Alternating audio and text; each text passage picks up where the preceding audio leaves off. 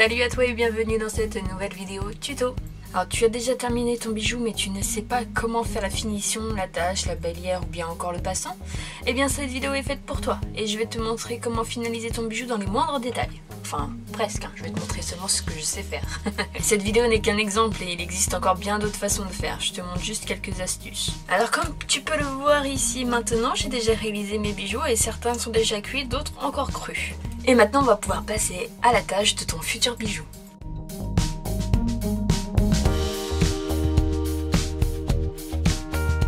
Donc on va commencer par le premier qui n'est pas encore cuit, il est encore cru. J'ai fait une petite pastille avec un, avec Mica Shift et donc on va fabriquer une petite attache pour ce petit bijou. Enfin, ce futur bijou. Je me sers de mon plat à escargot et je viens le poser dessus pour lui donner un côté bombé. Et maintenant, tout simplement, avec l'emporte-pièce de votre choix, donc moi j'ai choisi un petit rond pour rester dans, le rond, et eh bien je viens faire un, un trou en haut. Il n'y a plus qu'à passer ça en cuisson et pour finir, mettre un ruban autour du trou.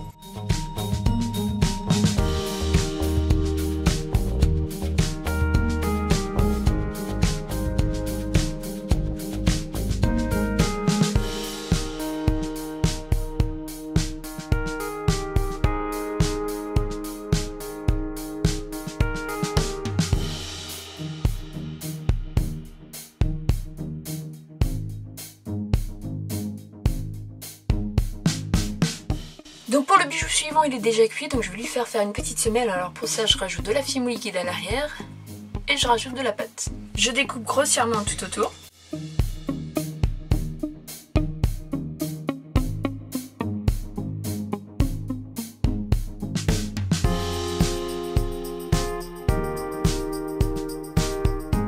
Et avec une mousse quelconque, eh bien on vient faire euh, un effet de texture. D'ailleurs, la texture peut aussi changer et je vais vous montrer ça dans les autres exemples. Je viens bien rabattre sur les côtés, que ça ne fasse plus qu'un.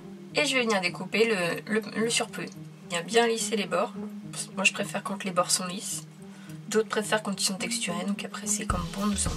Et donc maintenant on va pouvoir passer à la tâche. Donc je reprends de la pâte noire pour aller avec, hein. logique, c'est mieux. je ne l'étale pas trop finement. Et maintenant je viens prendre un morceau de paille à boire que j'ai coupé en petits morceaux et je vais enrouler ma pâte tout autour. C'est extrêmement facile d'enlever une paille après cuisson parce qu'elle se plie euh, facilement. Donc c'est l'idéal pour ce genre de bijoux.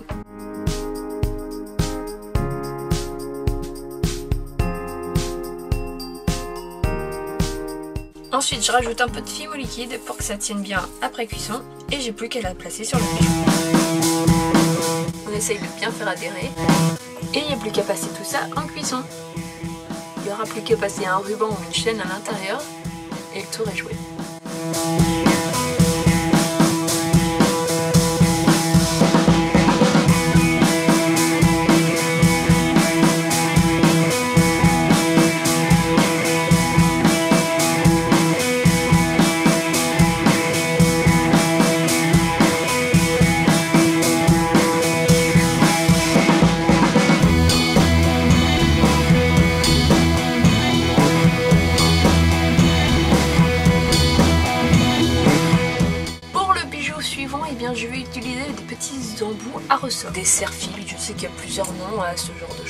c'est des embouts à ressort et puis c'est tout. Voilà. Donc, je viens rabattre le petit morceau qui dépasse juste avec une pince. Pour vous montrer la différence. Donc, je viens réaliser ma semelle, encore une fois. Et à l'intérieur de ma semelle, eh bien, je vais tout simplement enfoncer mon embout à ressort.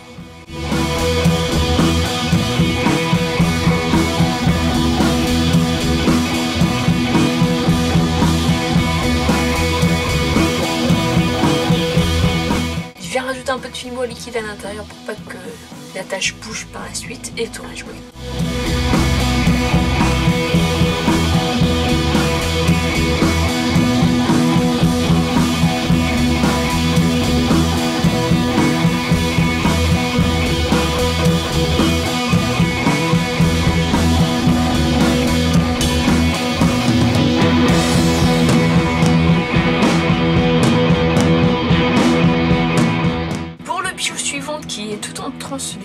Je vais rester dans le translucide avec de la pâte translucide.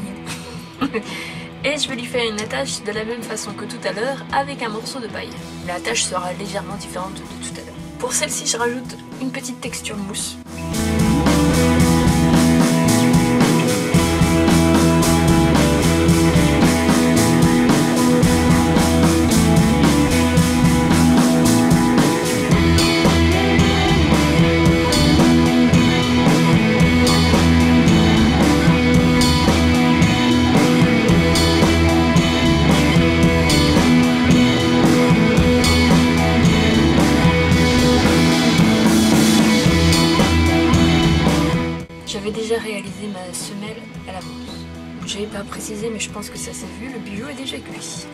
Précédemment pour servir de colle, je rajoute un peu de fimo liquide.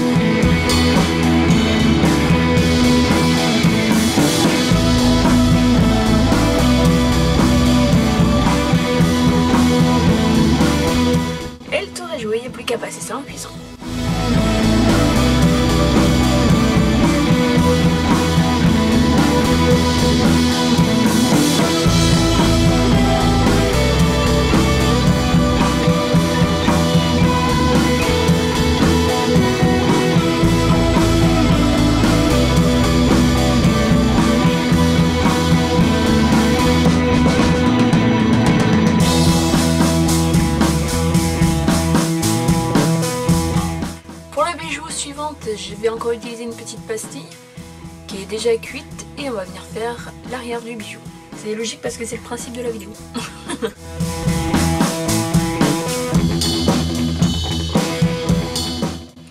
Donc cette fois-ci pour faire l'arrière du bijou, je voulais changer, je voulais vous montrer une autre façon de faire. Je vais pas utiliser une mousse mais plutôt une plaque de texture. Le principe reste exactement la même chose. Donc là c'est une pastille un, peu bombée, c'était un tout petit peu plus compliqué mais euh, c'est rien de bien. Rien de bien méchant.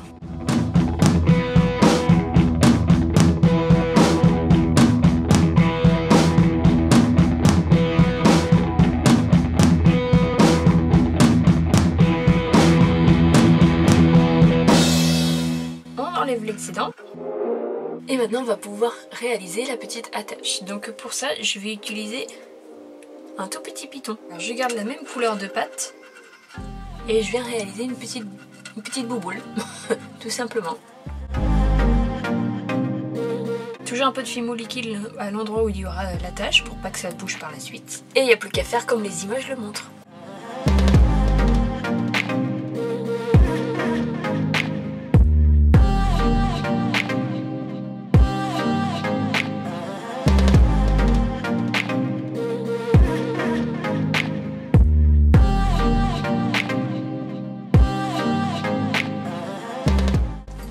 Il n'y a passer ça en cuisson.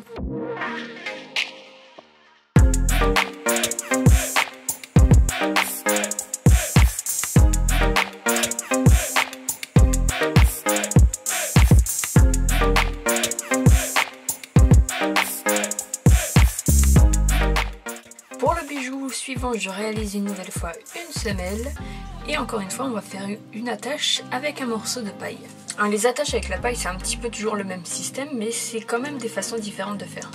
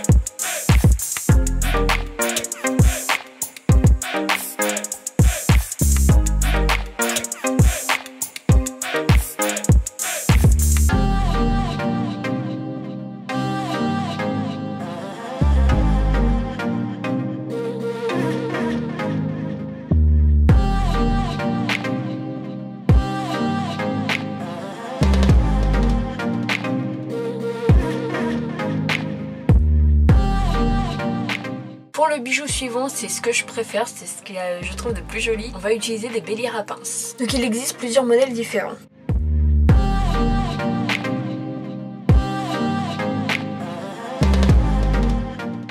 Et donc pour le coup là il n'y a vraiment rien de compliqué. Je me prends ma bélière à pince, je l'ouvre et je pince. Et le bijou est déjà fini.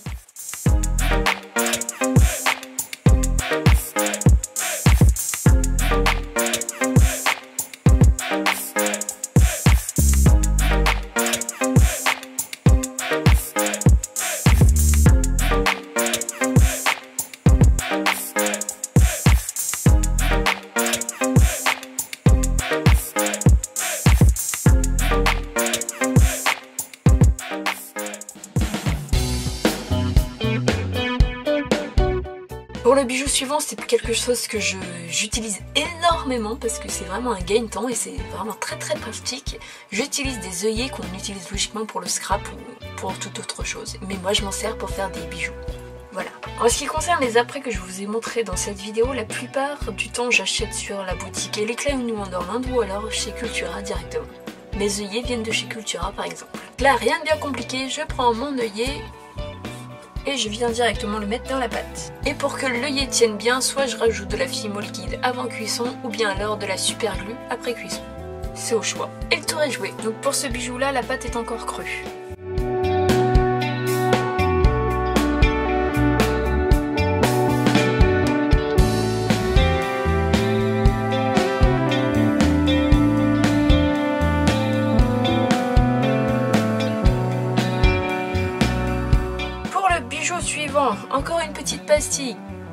N'est pas encore cuite, et eh bien on va venir faire la petite attache. Pour cette technique là, je vais utiliser une, une technique assez différente de ce que je vous ai montré jusqu'ici. On va essayer de faire une petite découpe sympathique.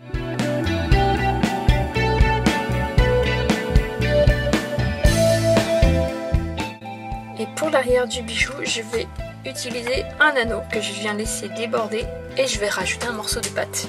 Et du coup j'ai préféré laisser ma pâte lisse pour ce bijou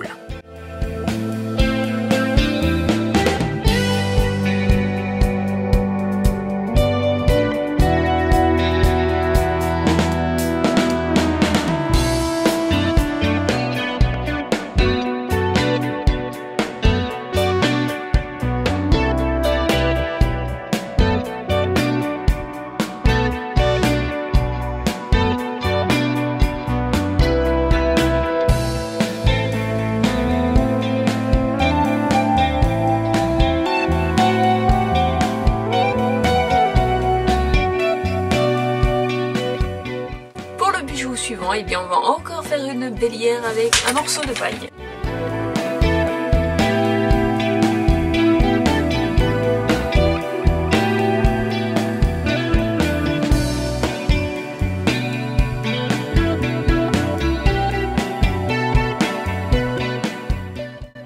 Et cette fois-ci la bélière on va pas la mettre derrière le bijou mais plutôt au dessus. Donc là il faut bien que ça adhère.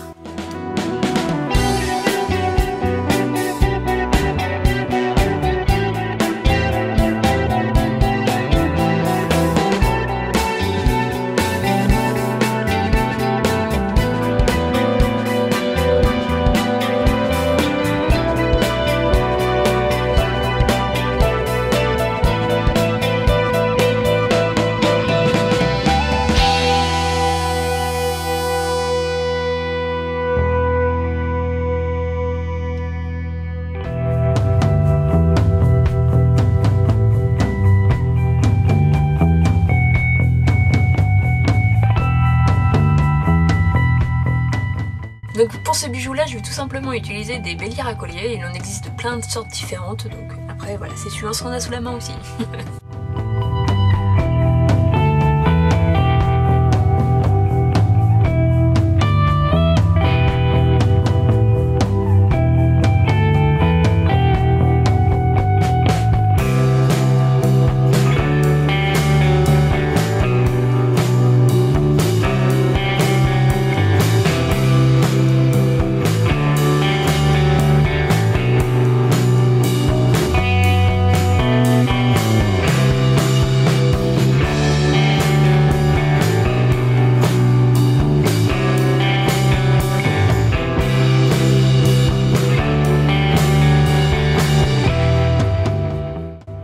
Et donc voilà, je vous ai montré 11 manières différentes de réaliser l'arrière du bijou, les finitions, la bélière, etc. etc.